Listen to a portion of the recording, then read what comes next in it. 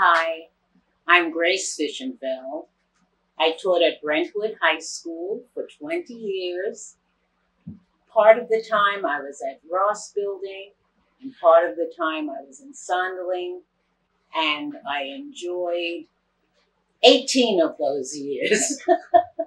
My first two years, I think I was almost a basket case.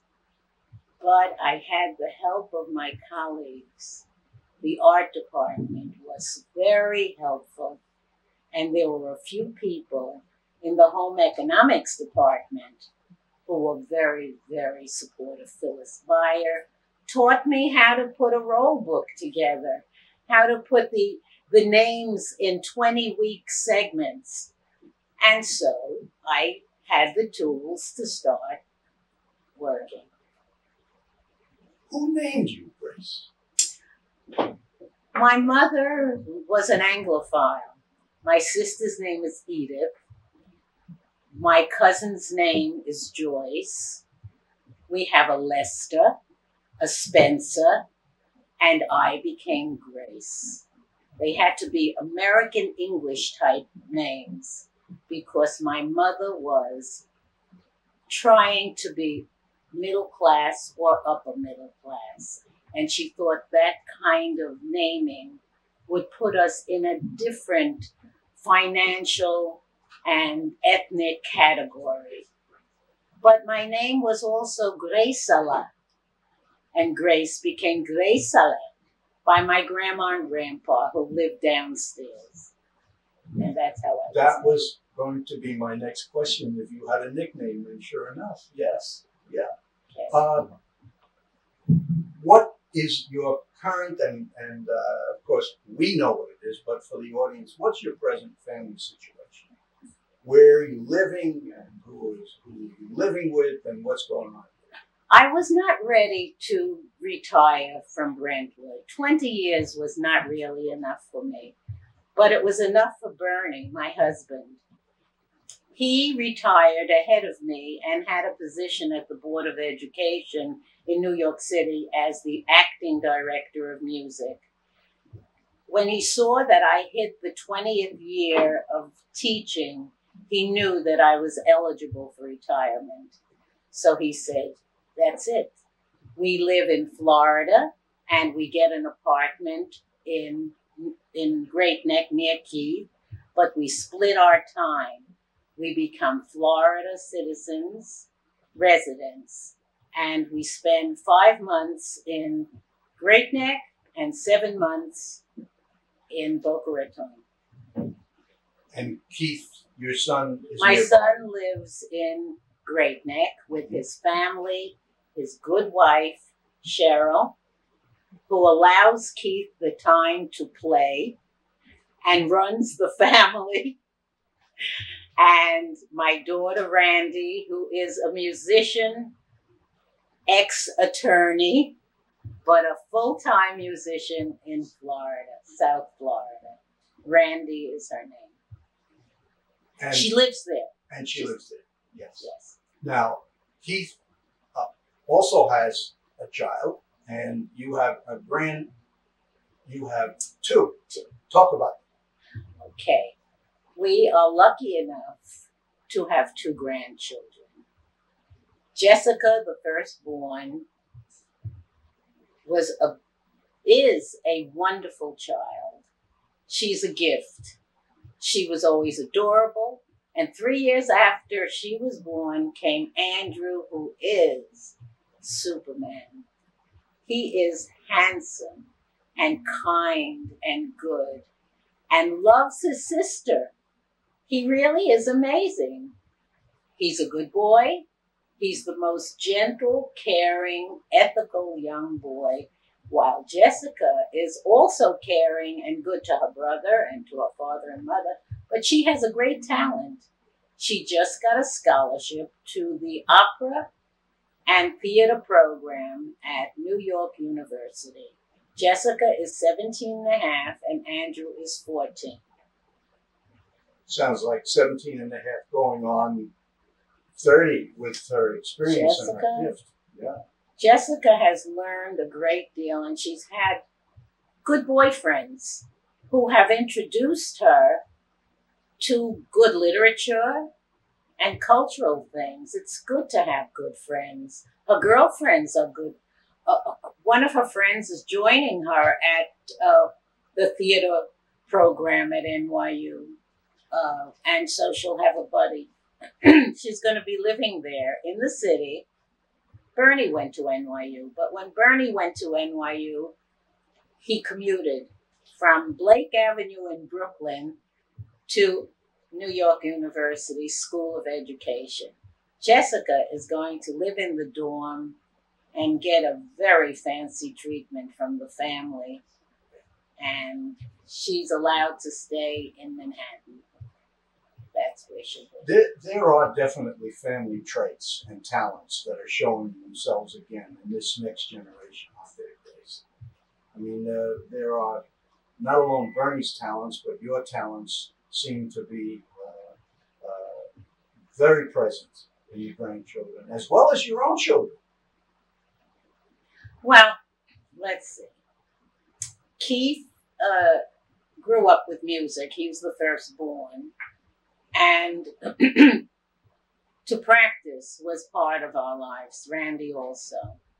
There was no such thing as coming home from school and watching television because that was very limited in our family. You could watch television for about an hour in your room, but what you had to do was practice your instrument. And Keith played the trumpet and studied with some very good teachers, while Randy played the violin and studied with Bernie.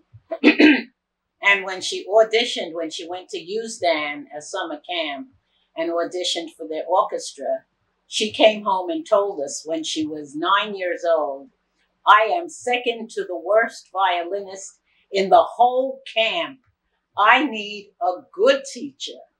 So we got her a good teacher, and Bernie was fired. He was a trumpet player. And so we got her a really good teacher, a man by the name of Sylvan Shulman, who taught at the Juilliard Prep School. And Randy became a, a good violinist, which which interfered with her law, the occupation of law. When she didn't like what she was doing, she took her fiddle out and went to play and was hired wherever she went. And that's what she does for a living. With a law degree. Well, her law degree is there. Yes. It's in a drawer. It's in a drawer. It's not even hanging on the wall. The diploma was put in her car and it rained. And the law, the diploma, every beautiful diploma is all rain spotted and crummy, but it, she earned it. now, Keith is also very talented with his hands and it, visually. He does some beautiful work, but he also is a musician. Well, the music stayed with the kids. Keith was a, an art education major at New Paltz. He, uh, we really wanted him to be a dentist. and we were very successful with our children. Our training really led, that's why I really needed Bobby Frankel. Bobby Frankel used to help me when I became frustrated with the way my great plans, educational plans for my children went. Bobby Frankel would welcome me into his office and give me tissues right away.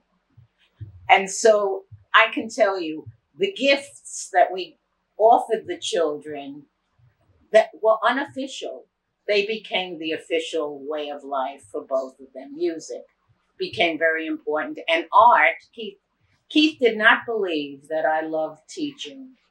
His his uh, his experience at student teaching was that he walked in in Kingston, New York, and he introduced himself. He said, "Hi, my name is Keith. He didn't say, I'm Mr. Fishenfeld, your new teacher.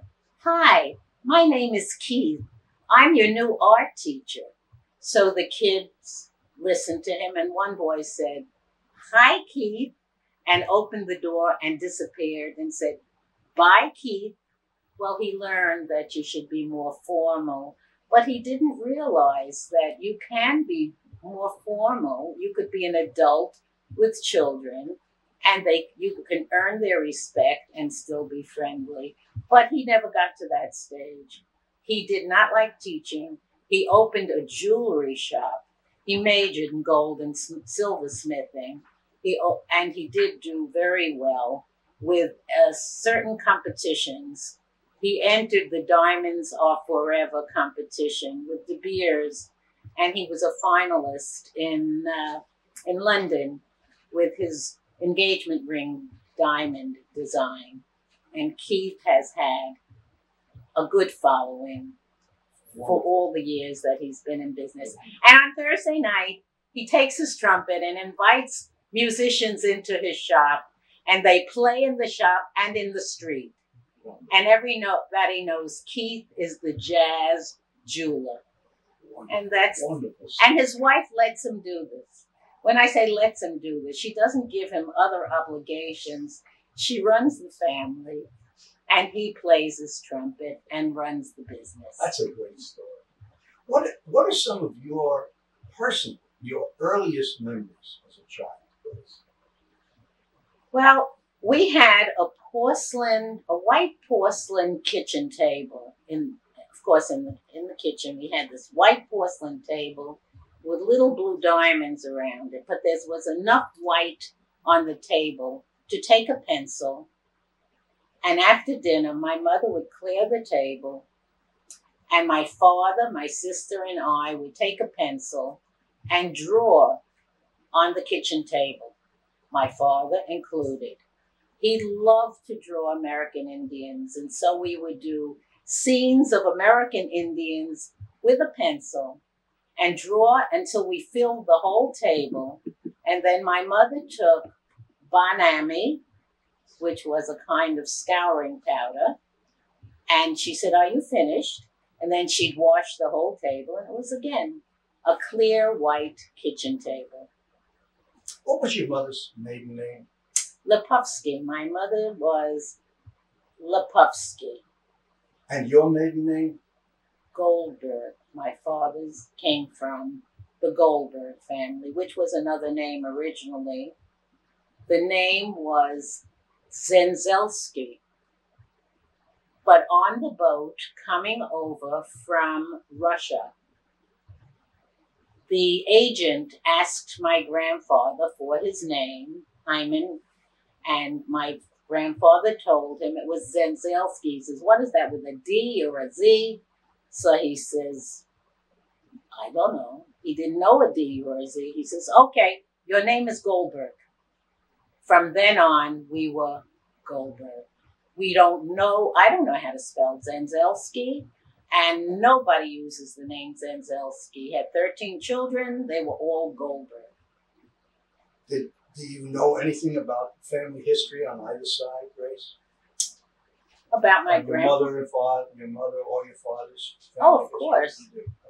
My uh, grandfather came from Russia. He learned to speak and write English immediately. He moved upstate New York, where he got a real estate broker's stamp, because I saw Hyman Goldberg Real Estate, and he bought a farm and he opened a place called the Swan Lake Inn, which became the Swan Lake Hotel where he proud where he proudly walked around with a white linen suit, white patent leather shoes, a white Panama hat, a a, a, watch, a gold watch in his pocket, while his wife cooked in the kitchen and his 13 children did the plumbing, the painting, drove the carriage to the uh, railroad station, picked up guests, and prepared all the labor for eh, eh, for the for the paying guests.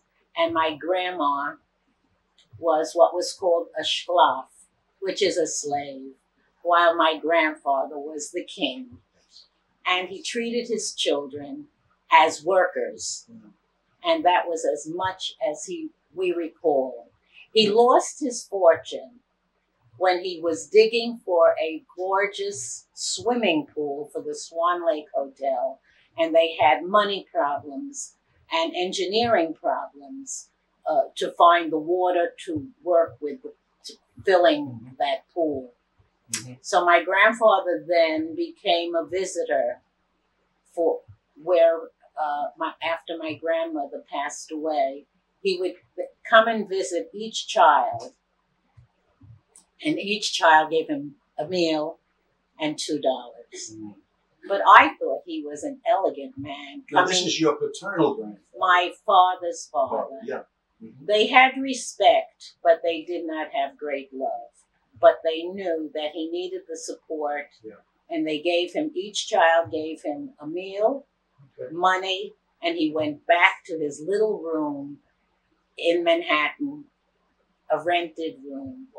He fell from a very high place. What about on the on the, My mother? mother. Yeah, My mother had the most loving parents. They lived downstairs from us.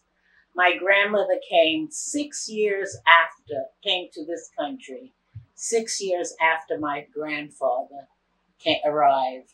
My grandfather was a fun man. He What was, year would that have been? Grace? oh God, this is, uh, Early. let's see, my grandmother was, my mother was born in 1906. And they came about nine years, ten years before that. So what? Mhm. Okay, all right. Ten years before that. Mhm. And uh, my grandpa couldn't call for my grandmother because he never found a location for a job. So my grandmother was a wonderful dressmaker, and she started to sew clothing for people. She had a little boy, and my uncle Sam came over with my grandma with the money that she earned from sewing from people.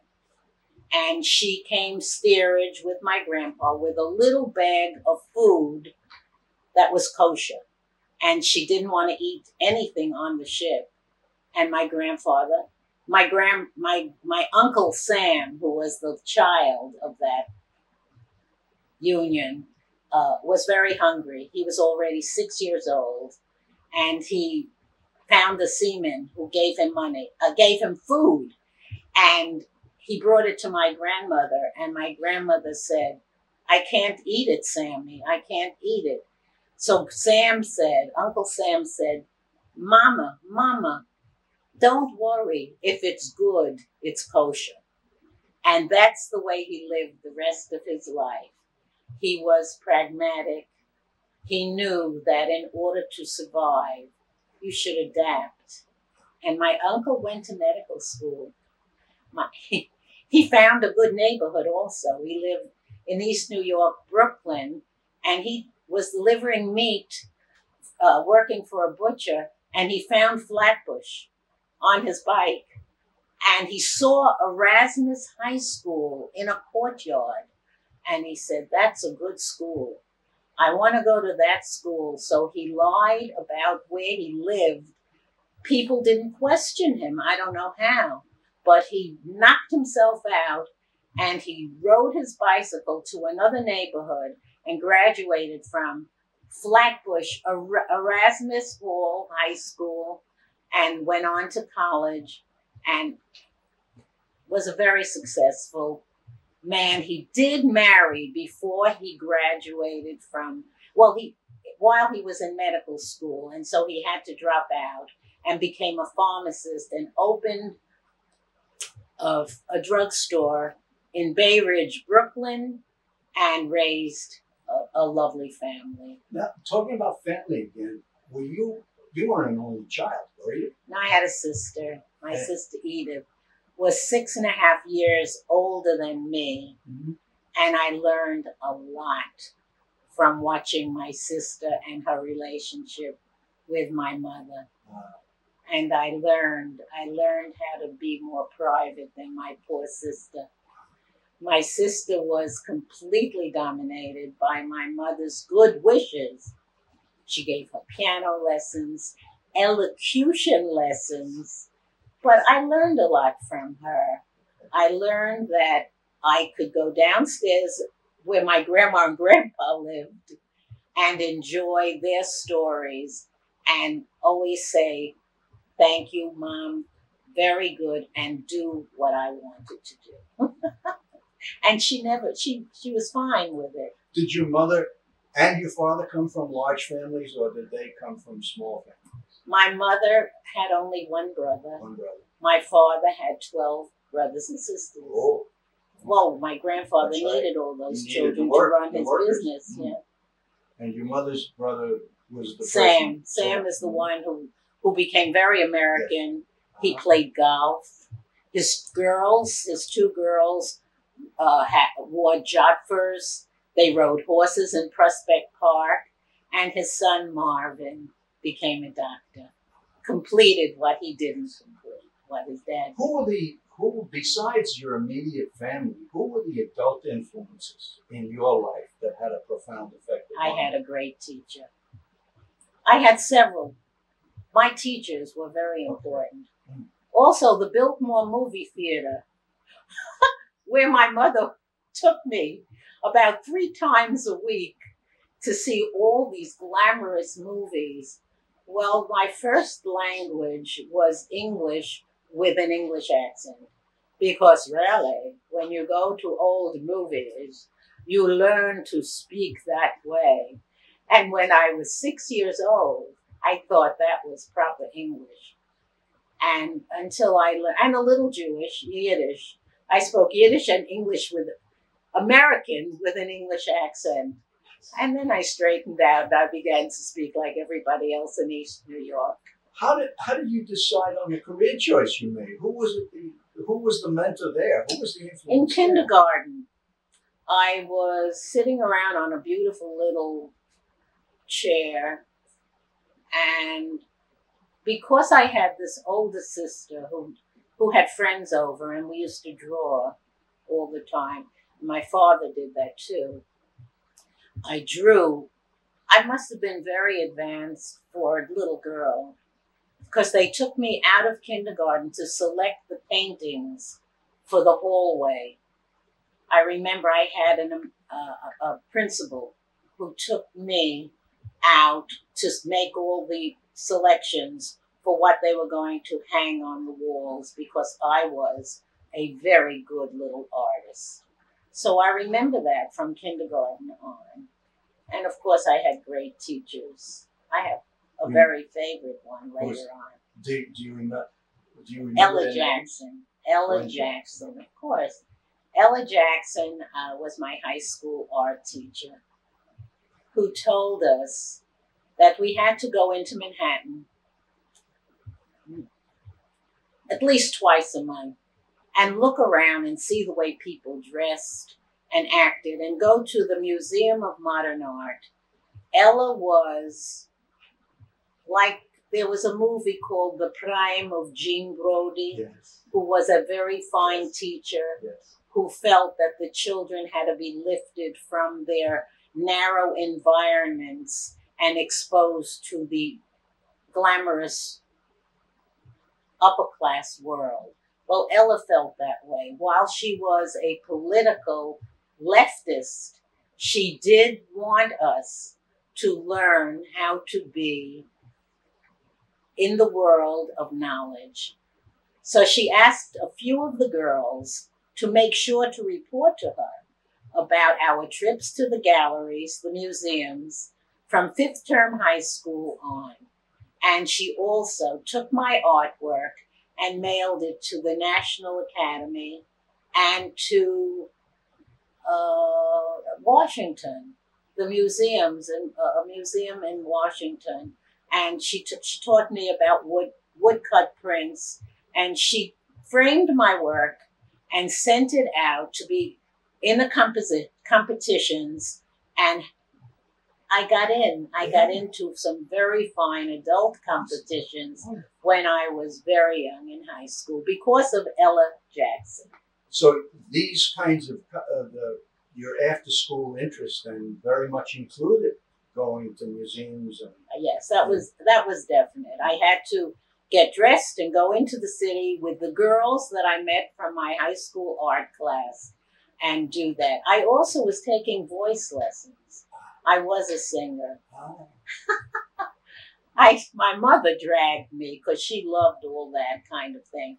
She dragged me to the Horn and Hardart Children's Hour where I was, Gracie Goldberg, and it was less work for mothers for Horn and Hardart, the Children's Hour, and there I sang and got nauseous on the on the train and hated it, but my mother loved it because I was then an entertainer and she went, she always meant well, yes. but it really clashed with my feelings. Yeah. I loved doing artwork because I didn't have to perform in public. What were you? Maybe you've answered this by by indirection, but your favorite subjects in school were were your art classes, obviously. Art and and English composition and literature and history. Okay. I was terrible in math. I couldn't figure out what Ah. when my parent when my grandparents came eight years before No. this and this and that because I have to count on my fingers. So it was not math. About family again, I wanted to ask you: Did you have uh, a favorite holiday, or was there an important holiday in the family every year? One that you really My grandmother, my grandmother let us we would hang our stockings up at Christmas time where we hung the dish towels. We didn't we did have a fireplace. It didn't get hung near the fireplace. It was a fake fireplace. Our stockings hung where you hang kitchen towels to dry and we hung our stockings and grandma crept up the steps and put money hanukkah geld in our christmas stockings okay Okay, that was holiday that's that's adapted. Yes. okay You have the opportunity now of living both in Great Neck, Long Island, and in Florida. But when you were younger, did you have a favorite season that differs from your favorite season today? Uh, i really don't Okay. Uh, and everything seemed very marvelous the changes Okay. are very welcoming Is there an aroma of food particularly great that triggers a memory for you? are you talking about food Food. Is there a is there an food has been my friend and enemy through my life. I I I I I, I don't think there's a food that I that don't triggers? like. Is there a food that triggers a memory, Memory. of My grandmother. Oh yeah. Well, I know that if you bake apples with cinnamon, your whole house smells good. And, and and I do. I do that. Especially when I usually do it when I'm having guests. I like to bake apples with cinnamon. It makes everything so lovely. You mentioned a teacher that was very important to you before. Would you take us through all the schools that you attended throughout your life from the first school? I went to PS 72 across the street from a Reformed Dutch church. There were wonderful teachers who made us do a victory garden. And in, the little patch of land in front of New Lots Avenue, that's where New Lots Avenue in Brooklyn, where PS 72 was, it was one of the oldest elementary schools in Brooklyn. Then when that building got torn down, I was in fourth grade. I transferred to another school, PS 182 on Wyona Street. And I, it took me a while to really love that school because PS 72 was a remarkable place. They told us about the early Dutch settlers in New, on New Lots. And across the street from that PS 72 was the Old Skank, which was a Dutch uh, a res- preserved cottage, and that and there were cobblestones in the street, and and the, the, the thought about the early settlers in New York were, were with me when I went to that school. Of course, the street still had cobblestones in my neighborhood, but I moved to a more modern building, PS 182, where I stayed until sixth grade, and then I went to junior high school 149 on Sutter Avenue in Brooklyn, where Danny Kaye graduated from. And then I wanted to go to major in art, so I went to Prospect Heights High School, near across the street from the Brooklyn Museum, where we took class uh, at the Botanical Gardens, which was also within walking distance. And I had a marvelous high school, all girls school, which was fine because I did have my boyfriend Bernie at the time, and I had no need for a co ed school.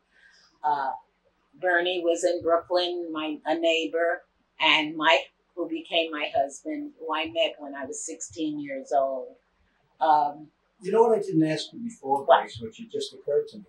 I didn't ask you uh, when you were born and where you were born. You- You were in, in Brooklyn. 1932 Jewish Hospital in Brooklyn. In Brooklyn. What part of Brooklyn was that? In East New York was that? Well, I lived in East New York, but I think Jewish Hospital was like near Crown Heights. Okay, so you but you lived at that. Brooklyn. The family lived. Brooklyn. Okay. Mm. I thought that that was where creation existed. yeah, sure. They had the Dodgers. Sure. I lived in Brooklyn. I thought I was a very lucky person.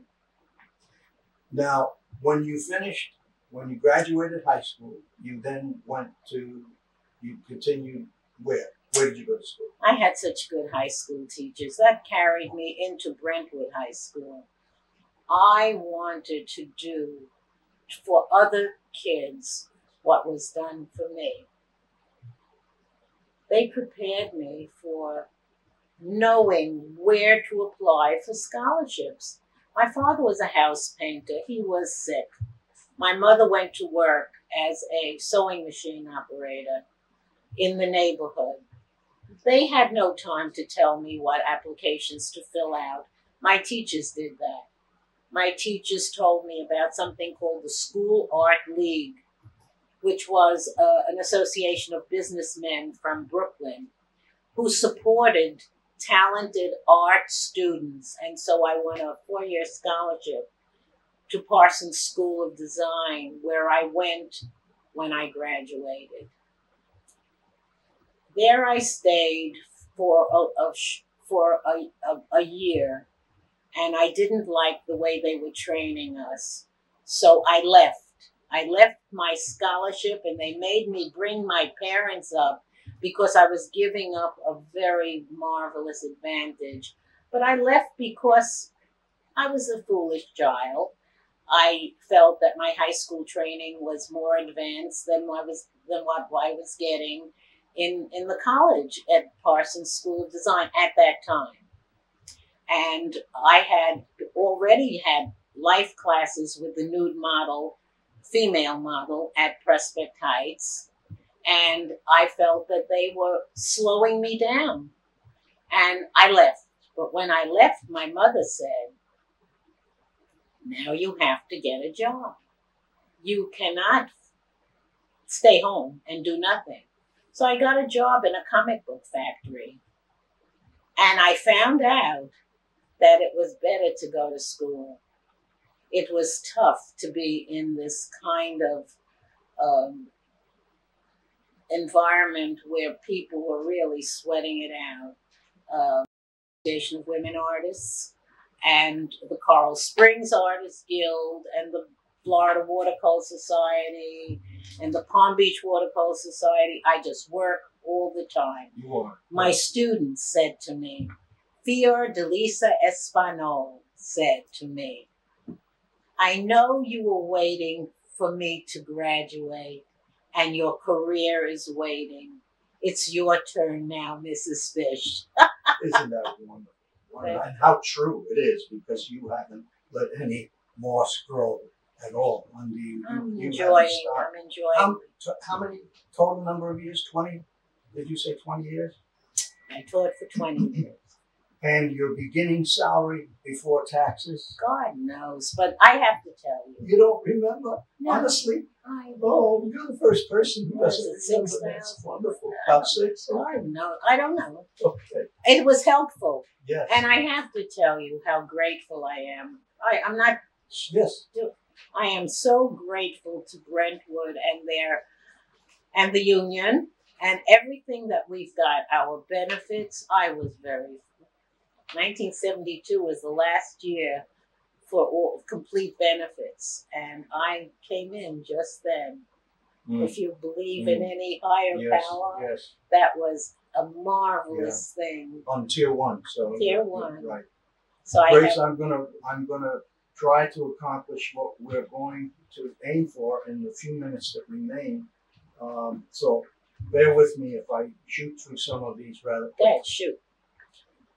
Is there anything that you would have done differently as far as your career, your teaching career? Is there anything that if hadn't having had a chance to do it over you would have done differently? No, no, no. I stepped Okay. into good things. Okay. Uh, what do you miss from those years? I met such good people. I really did. They were, oh, and Tex is gone. There are people who are no longer around. Mm-hmm. I miss them. And but I still have some of my students. yes. I've got. I'm You still, in touch. maintain oh yeah, yes. I have a few kids who I still Right. write to, hear from.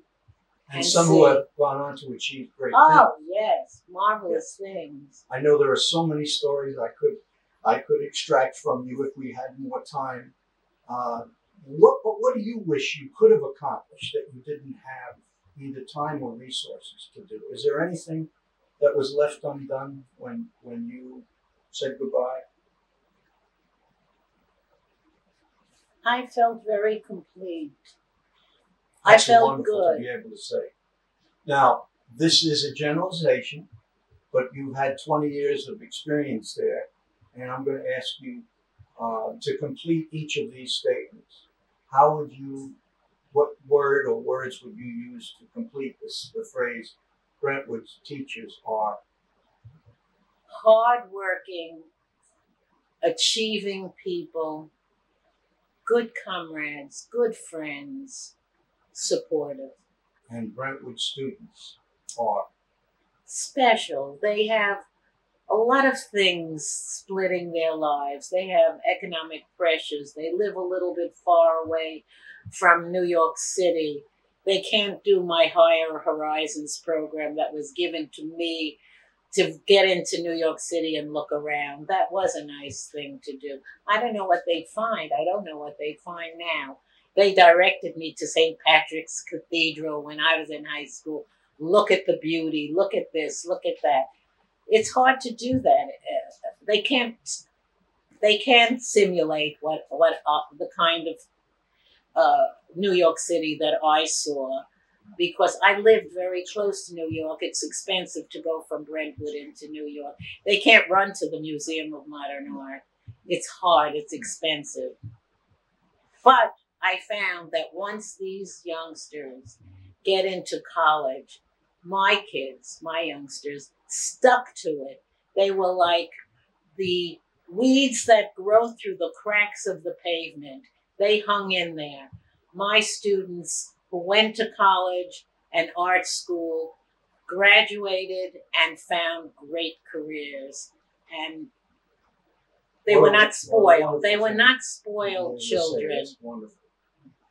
Is there any advice that you could offer to somebody who might be just entering the field now or coming Have into patience. Mhm. have patience and be willing to learn and be open to criticism. And, Yes. and it doesn't mean so anybody, you don't know everything Yes. when you walk into a job. You have to look around and listen to your colleagues and feel the tempo of your students and have patience. Did you have a favorite year, Grace, of all of them? No, I, I really don't. Now, is there anything that we neglected or we forgot about that we want to say before we finish? there were so many students whose names I loved.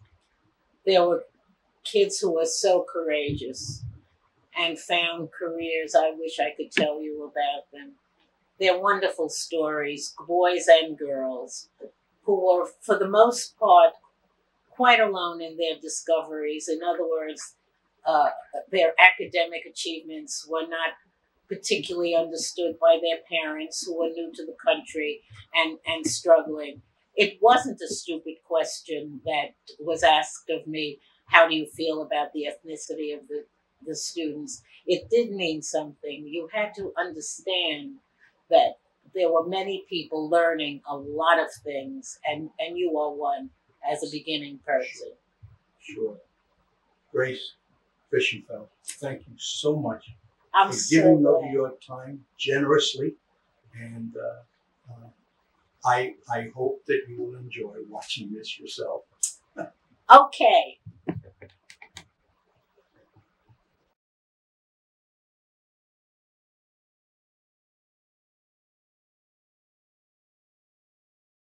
Was hard work. Uh, I at, within a year, I oh, I found out about State Tech, which was a community college, a two-year community college, and I immediately applied and they were marvelous. They looked at my portfolio from high school and whatever I learned at Parsons, and they took me without renewing an exam. And there I completed my associate's degree, and I got a job in an advertising agency immediately. Uh, first eight weeks was working in what they call a bullpen, where you do paste lay. Well, no, you don't do the layouts. You do paste ups for the art director's layouts. And I did that. And then they turned me into an art director. We advertised books and I did Harper Mysteries. I was in charge of that and I did that for two years. I was married and then helped Bernie go to college. And uh, that's what I did until I became pregnant with my first child. I returned to school after many years, and I went to. Uh, I returned to get. I went to Nassau Community College, and then to Molloy College for Catholic women, where they were marvelous. They took all my credits, and I completed my undergrad education from Molloy College, and I then applied for teaching at uh, Brentwood. And before we talk about Brentwood, which we're going to do next, I forgot to ask you something else. Do you remember the first job for which you were paid? Yeah. What was it? Oh, summer job when there wasn't school at Parsons when I finished my first year. I got a job in a doll factory, painting the eyes and lips. I'm holding my hand this way because I had to put the dolls' heads, take it off a rack, put the dolls' heads on, paint their eyeballs, paint their lips, and put them back. That's what I did. My first job. It was a factory. Okay. And then you came to Brentwood in what year would that have been? 1972, Brentwood. And on the third day of school, On the third day. my son's art teacher was a, a friend of Frank Lurch's. Frank Lurch, the art department chair, had mentioned that a young man came to be interviewed at Brentwood High School for the job of teaching art. And he didn't like it. He left on, the first day of school. He said he had a better offer upstate New York. He didn't want to be in Brentwood. So I was told about it and I phoned and they arranged for an interview for me. And Mr. Yankowski, Manny Vega, and Frank Lurch were there for my interview. And that was my first experience with teaching in the high school of Brentwood. And the interview went strangely. Tell me about that. They were busy telling me about the, the ethnicity of Brentwood. And I forgot to mention that while I was going to school, I was also teaching in a community center, a Y. For 12 years, I did that while going to school and raising children mm. And doing little things to bring money into the family and to do what I could do in my community. I taught at the East at the East New York Y and at uh, at uh, the Mid Island Y in Wantagh. And they asked me all about how I felt about teaching children of this of different ethnicities. And it was getting in the way of my plans to teach. So I said, could you please excuse me? I, I really don't care about the ethnicity of the of the kids. I'm busy thinking of what I'm going to teach tomorrow. Uh, and I'll find out about the kids, but I have to know what I'm going. I have to plan about what I'm going to do for you tomorrow. Well, I did get hired, and it did matter. I did have to learn how to work at Brentwood. They were. It was a different tone from teaching in in uh, the East New York Y and at uh, uh, uh, Wantagh our kids were very, very interested in the way they looked and their shoes and wanting to get ahead with material things. I noticed. That's what I noticed right away. And what I was teaching in art was not really necessarily their prime motivation for, for existence. When I was teaching art in a community center, it, they came because they wanted to do art. And so the motivation for these kids were very different. They came into my class because they wanted to get finished with their day of school and get out and get their second, get their jobs to buy gorgeous little sneakers and cars. That's what I think I found out. So for two years, I had to figure out how to reach these kids and tell them about how important it is what I was giving, what I wanted to give them. And it really took me two years of, of, of figuring out how to reach our Brentwood kids. You know what I'd like to ask you, Grace, uh, is to give us an overview, if you can, with who you worked in the first couple of years, some of the people that you worked with. Oh, yes, I'll tell you right away. The one who saved me and turned me into a tuned in teacher was Tex Vlasic, Margaret Vlasic. She said to me, Grace, how old are you? I said, I'm 40. She said, where did you teach before? She was very helpful. I was dreaming about teaching them art on, uh, on a cloud.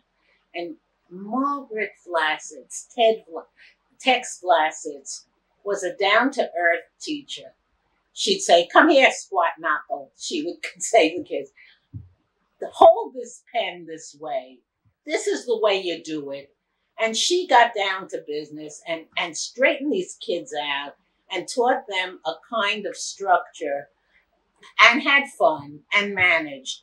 What she did for me was teach me how to get my supplies together box my lessons so that when the bell rang and another class came in, I was able to pull all my supplies out and be ready to teach the next class and never be unprepared. Tex taught me that. She said, This is a battlefield. If you're unprepared, you will get killed. Really, educationally slaughtered. You have to show the kids you're ready for them you're prepared, and that's why lesson plans were helpful. Everything was good. The structure was good, and that's where I was with the help of Tex. Now, the grades you've taught, the subjects you've taught, and the positions or promotions that you may receive. I, am going to group all this together, and you can tell me anything you want to about it. uh, the, the various activities or programs that you were involved in?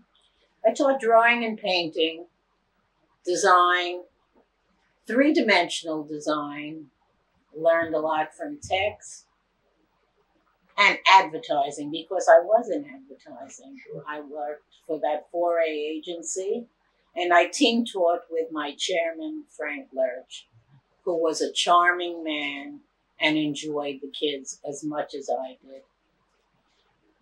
Did, did uh, your preparation professionally to be a teacher uh, prepare you for what you found when you got to Brentwood? Or I that- went to beautiful Molloy, who told us that edu- they came from St. Dominic, who was an educator, who was an intellectual, high minded, wonderful. They said, listen, get rid of grades. Get rid of grades. There should be nothing higher than the feeling of self accomplishment. I walked into Molloy, walked into Brentwood with that mindset, and I quickly learned that if you don't pay with grades, they don't know what they are. So, that beautiful idea of self nourishment from high achievement sort of floated out of the window. And when that floated out of the window within my first two years, I learned that you get a, a shirt for your ticket. You give them your grade and they will work to achieve it. And I had to do that You know, old fashioned type this, this thing. question comes from what you're answering now, and you knew that the question was coming, I'm sure, uh, because it has to do with your uh, your purpose in the classroom having less to do with a job description than it had to do with why you saw yourself being there in the first place. What were you trying to accomplish? oh, I wanted to give these kids what I got the chance to elevate, a chance to take a peek into a more affluent world where you could live more easily, where you can enjoy economically and intellectually the creative part of making a society. I had this wonderful Ella Jackson who did this Yes. in high school for me, and other teachers who did it also. And I really, aside from the fact that it certainly helped my family yes. economically to work and, and have a salary, I really loved going in with the idea that I was able to get these kids from high school into a college, into a field that they could live in and earn Yes. and have a good life. I'm going to ask you some questions about your continuing connection with former colleagues and so on, but I'll hold that off because I'd rather at this point ask Was there ever a time where you were involved with the Brentwood Teachers Association or with the with the They were doing very well, Okay. and I really wasn't involved. Okay. I do know that Edie, there was a, a woman who represented us in the union. She was a good woman, and uh, if I had a problem about uh, a procedure, I knew she was there, and uh, there were good people doing the job in the union for us. Were you, Grace? Were you ever afraid to go to work in Brentwood? No. No. No, no. I didn't think you were going to say that. What professionally? What has made you angry? I support the public schools. And it hurts me to think, look, I may have the idea of charter schools all wrong, but I like the public institution being supported. And I don't like to see funds wiped away and put into a private area where the hard work that teachers unions worked for for so long become diminished. Salary schedules and certain rules, certain benefits that we've gotten, I don't like to see that diminished. and standards for uh, achieving uh, higher uh, uh, points for continued education uh, not recognized. Uh, I, I don't like to see competition in the public school world with other systems that might take away from the ability or the resources. Or the resources exactly Here we are in uh, August of 09, and looking back at your official date of retirement, which was what? 1992 20 years after my teaching uh, at hired in 70 I am so happy that we finally made a date to do this because it's been a long time that I wanted to do it. You've been very busy lady since 92 because we retired in the same year. In that time, you've accomplished so much, Grace. What of the things that you've accomplished are you most proud? of? Uh, well when bernie said it's time to retire grace and i really didn't want to i started to look to find fault with my position at, at brentwood and i was getting a little cranky when tom oliveri said to me when i stayed late framing some of the work for a show and i was grumbling he said go home grace i see you're cranky and I was thinking, I really don't want to retire. That's really why I'm cranky. And Bernie said, Grace, it's time to go to Florida. I and I said, I really am not ready. And he said, Well, then I'll miss you in Florida. So I said, Oh boy, I, I guess I have to go. So I did. And what I did right away was read an article. I found an article in a, in a Florida newspaper about a group of artists called Women in the Visual Arts. Group of women artists. And I called up and I got connected with them immediately. This group of women artists do work in the community. That satisfied me. They were not only artists, but they provided scholarships to high school kids and college women, high school boys and girls, but graduate women artists going to complete their master's degrees. I became the chair of uh, that committee, the Graduate Education Committee uh, Okay. organization committee. That's what I became the the, pres- the uh, chair of, and I do that today. I work with women in the visual arts, and we do find women who are in need, who are talented and in need uh, of funds to get their master's degree completed. I also belong to the Boca Museum Artists Guild, where we have a cooperative art gallery, and I show there regularly. Compete to show there. You have to compete. And I belong to um, the National Association of Women Artists and the Coral Springs Artists Guild and the Florida Watercolor Society and the Palm Beach Watercolor Society. I just work all the time. You are. My students said to me, Fior de Lisa Espanol said to me, I know you were waiting for me to graduate and your career is waiting. It's your turn now, Mrs. Fish. Isn't that wonderful? Wonderful. And how true it is because you haven't let any moss grow at all under you. I'm you enjoying. I'm enjoying. How, t- how many total number of years? 20? Did you say 20 years? I taught for 20 years. And your beginning salary before taxes? God knows, but I have to tell you. You don't remember? No, Honestly? I Oh, you're the first person who doesn't it, remember. six That's thousand? wonderful. About six? I don't know. I don't know. Okay. It was helpful. Yes. And I have to tell you how grateful I am. I, I'm not, yes. I am so grateful to Brentwood and their, and the union and everything that we've got, our benefits. I was very, 1972 was the last year for all complete benefits. And I came in just then. Mm. If you believe in any higher Yes. power, Yes. that was a marvelous thing. On tier one. So Tier yeah, one. Right. So I Grace, have, I'm gonna I'm gonna try to accomplish what we're going to aim for in the few minutes that remain.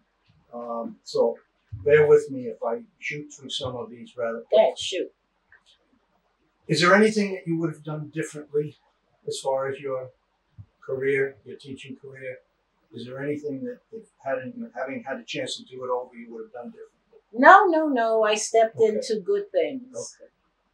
Uh, what do you miss from those years? I met such good people.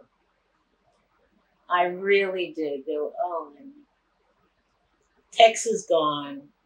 There are people who are no longer around. I miss them. And but I still have some of my students. yes. I've got. I'm You still in touch. oh yeah, yes. I have a few kids who I still Right. write to, hear from. And, And some who have gone on to achieve great things. Oh yes, marvelous things. I know there are so many stories I could I could extract from you if we had more time. Uh, but what do you wish you could have accomplished that you didn't have either time or resources to do? Is there anything that was left undone when when you said goodbye? I felt very complete. I That's felt wonderful good. to be able to say. Now, this is a generalization, but you've had 20 years of experience there, and I'm going to ask you uh, to complete each of these statements. How would you, what word or words would you use to complete this? The phrase, Brentwood's teachers are. Hardworking, achieving people, good comrades, good friends, supportive, and Brentwood students are. special. They have a lot of things splitting their lives. They have economic pressures. They live a little bit far away from New York City. They can't do my Higher Horizons program that was given to me to get into New York City and look around. That was a nice thing to do. I don't know what they'd find. I don't know what they'd find now. They directed me to St. Patrick's Cathedral when I was in high school. Look at the beauty. Look at this. Look at that. It's hard to do that. They can't.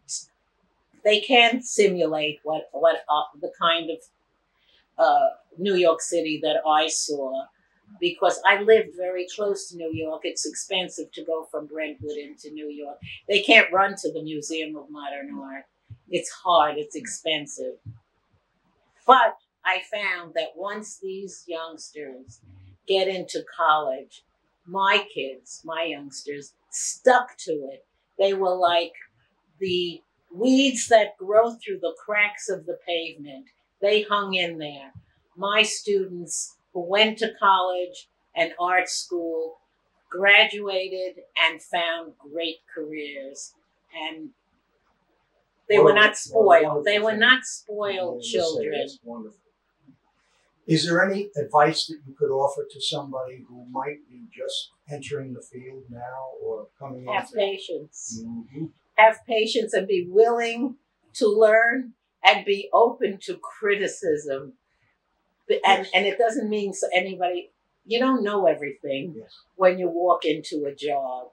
You have to look around and listen to your colleagues and feel the tempo of your students and have patience. Did you have a favorite year, Grace, of all of them? No, I, I really don't. Now, is there anything that we neglected or we forgot about that we want to say before we finish? There were so many students whose names I loved. There were kids who were so courageous and found careers I wish I could tell you about them. They're wonderful stories, boys and girls, who were, for the most part, quite alone in their discoveries. In other words, uh, their academic achievements were not particularly understood by their parents who were new to the country and, and struggling. It wasn't a stupid question that was asked of me. How do you feel about the ethnicity of the, the students? It did mean something. You had to understand that there were many people learning a lot of things, and, and you are one as a beginning person. Sure. Grace Fishenfeld, thank you so much I'm for so giving of glad. your time generously, and uh, uh, I I hope that you will enjoy watching this yourself. Okay,